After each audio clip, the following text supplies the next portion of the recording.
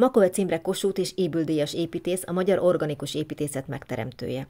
Az érettségi vizsga után egyedül abban volt biztos, hogy mindenképpen művészi vonalon szeretne elhelyezkedni, már akkor is az alkotás folyamata motiválta. A Budapesti Műszaki Egyetemen kezdte meg tanulmányait 1954-ben. Makovec Imre számtalan művet adott Magyarországnak, Kárpát-medencének, sőt Európának is.